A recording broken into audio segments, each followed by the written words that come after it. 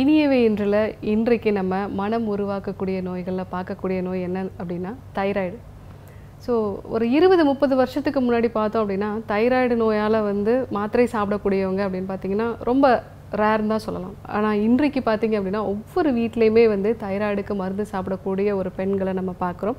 அதுலேயும் இந்த நோய் வந்து ஆண்கள் பெண்கள் ரெண்டு பாலினரையுமே வந்து அதிகமாக பாதிக்கக்கூடிய ஒரு நோயாக இருக்குது இந்த தைராய்டு பிரச்சனை வந்துருச்சு அப்படின்னா வந்து லைஃப் லாங் நம்ம மெடிசன்ஸ் எடுத்துக்கணும் அப்படின்னு தான் நமக்கு சொல்லப்பட்டிருக்கு. ஏன் ஒரு நோய்க்கு வந்து நம்ம லைஃப் லாங் மெடிசன்ஸ் எடுத்துக்கணும்? அதுக்கான ஒரு டயட்டோ ஒரு லைஃப் ஸ்டைலோ நம்ம ஃபாலோ பண்ணுறோம் மருந்துகளும் எடுத்துக்கிறோம். இது நாள் வரைக்கும் சரியாக வேலை செஞ்ச அந்த ஒரு சுரப்பி ஏன் திடீர்னு வேலை செய்கிறத நிறுத்திடுச்சு அப்படிங்கிற ஒரு கேள்வி நமக்குள்ளே வரும். ஏன் அப்படின்னா இந்த தைராய்டு அப்படிங்கிறது நம்மளுடைய உணர்வுகளோட முக்கியமாக நம்மளுடைய எமோஷன்ஸ் கூட வந்து அது ரிலேட்டடான ஒரு விஷயம். இந்த தைராய்டு வந்து இருக்கிறது பார்த்திங்கன்னா நம்மளுடைய கழுத்து பகுதியில் இருக்கும். இந்த இடத்துல இருக்கக்கூடிய சக்கராக்கு பேர் விஷுத்தி சக்கரா அப்படின்னு நம்ம சொல்லுவோம் இந்த விஷுத்தி சக்கராவோட வேலை என்ன அப்படின்னா நம்மளுடைய எமோஷன்ஸை வந்து வெளிப்படுத்தக்கூடிய ஒரு அந்த வேலை அதுக்கு உண்டு. அந்த எமோஷன்ஸ் வந்து நீங்கள் எனக்கு தண்ணி வேணும் சாப்பாடு வேணும் அப்படிங்கிற ஒரு எமோஷன்ஸ் கிடையாது. எனக்கு பசிக்குது அந்த மாதிரியான ஒரு எமோஷன்ஸ் கிடையாது. எனக்கு வருத்தமாக இருக்குது இல்லை எனக்கு ரொம்ப சந்தோஷமாக இருக்குது எனக்கு ரொம்பவே வந்து ஒரு குற்ற உணர்வாக இருக்குது இல்லை என்னோடய வேலைகளை என்னால் செய்ய முடியலங்கிற ஒரு தாழ்வு மனப்பான்மை இருக்குது இந்த மாதிரி என்னுடைய அதிகபட்ச உணர்வுகளை வந்து வெளிப்படுத்தணும் அப்படிங்கிற ஒரு நிலை தான் வந்து இந்த விஷிதி சக்கராவோட வேலை. பெரும்பாலும் பெண்களுக்கு வந்து இந்த நிலை வந்து ரொம்ப சவாலான ஒரு விஷயம். ஏன்னா அவங்களோட உணர்வுகளை வந்து வெளிப்படுத்த முடியாத ஒரு சூழ்நிலை தான் பெரும்பாலும் இருக்குது அதனால தான் இந்த தைராய்டு பார்த்தீங்க அப்படின்னா ஒரு ப பத்தாவது பன்னிரெண்டாவது படிக்கக்கூடிய பெண்களுக்கு வந்து உண்டாகும். கர்ப்ப காலத்தில் உண்டாகும். சிலருக்கு பார்த்தீங்க அப்படின்னா போஸ்ட் டெலிவரின்னு சொல்லுவோம். ஸோ குழந்தை பேருக்கு பின்பு வந்து இந்த பிரச்சனை உண்டாகும். இன்னும் சில பெண்கள் இதெல்லாம் தாண்டி வந்துட்டாங்க அப்படின்னா நாற்பது வயதுகள்லையும் வந்து இந்த தைராய்டு பிரச்சனை உண்டாகும். சிம்பிளாக சப்கிளினிக்கல் தைராய்டு இருக்குது அதாவது வந்து அந்த டிஹெச்ஓட லெவலு நாலு புள்ளி அஞ்சுக்கு மேலே ஒரு அஞ்சு ஆறு அந்த மாதிரியான ஒரு நிலையில் இருக்குது அப்படின்னா அவங்களோட எமோஷன்ஸை முதல்ல நம்ம பார்க்கணும். ஸோ அவங்க எமோஷன்ஸ் எந்த மாதிரி இருக்குது அவங்களோட உணர்வுகளை வெளிப்படுத்தக்கூடிய ஒரு சூழ்நிலை இருக்கா அப்படிங்கிறத நம்ம செக் பண்ணோம்னா பெரும்பாலும் அந்த மாதிரியான ஒரு சூழ்நிலை அவங்களுக்கு இருக்காது. அந்த நிலையில் அவங்கள இந்த தைராய்டுக்கு மெடிசன்ஸ் எடுத்துக்கிறதோட மட்டும் இல்லாமல் அவங்களுடைய உணர்வுகளை வெளிப்படுத்தக்கூடிய ஒரு சூழ்நிலையை உண்டாக்கணும்.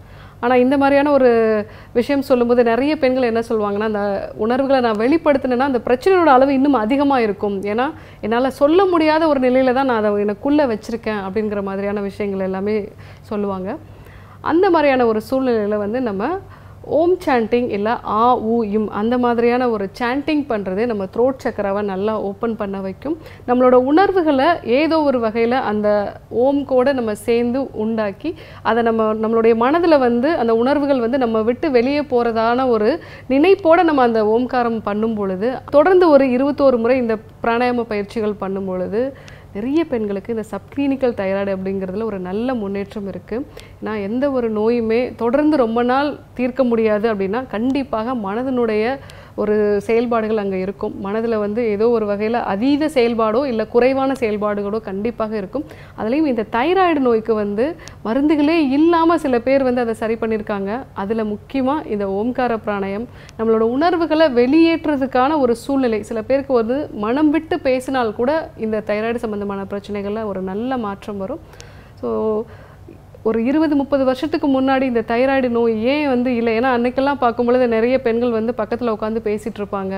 ஸோ அவங்களோட உணர்வுகளை பெரும்பாலும் வீட்டில் இருக்கக்கூடிய பெண்கள் அவங்களுக்கு பெரியவங்களோட சேர்ந்து பேசக்கூடிய ஒரு பழக்கம் இருந்தது. ஆனால் இன்றைய சூழ்நிலையில் வந்து பெரியவர்களை நம்ம மதிக்கக்கூடிய ஒரு நிலையிலையும் இல்லை.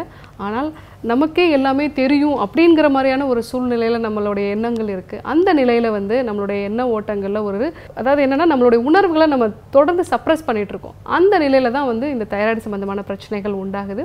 ஸோ தைராய்டு பிரச்சனை இருக்கிறவங்க நீங்கள் ஓம்கார பிராணாயாமமோ இல்லை உங்களோட உணர்வுகளை வெளிப்படுத்துறதுக்கான ஒரு வாய்ப்புகளையோ ஏற்படுத்திக்கிட்டீங்க அப்படின்னா வந்து இந்த நோயிலேருந்து முக்கியமாக சப்கிளினிக்கல் தைராய்டுலேருந்து ஈஸியாக மீண்டு வர முடியும். இல்லை ரொம்ப நாளாக எனக்கு தைராய்டு பிரச்சனைகள் இருக்குது அப்படின்னா அந்த மருந்துகளோடு சேர்ந்து இந்த விஷயங்களையும் நீங்கள் வந்து உங்கள் உணர்வுகளை வந்து வெளிப்படுத்தக்கூடிய ஒரு சூழ்நிலையும் உருவாக்குனீங்க அப்படின்னா தைராய்டு நோயிலேருந்து ஒரு நல்ல மாற்றத்தை நம்மளால் பார்க்க முடியும்.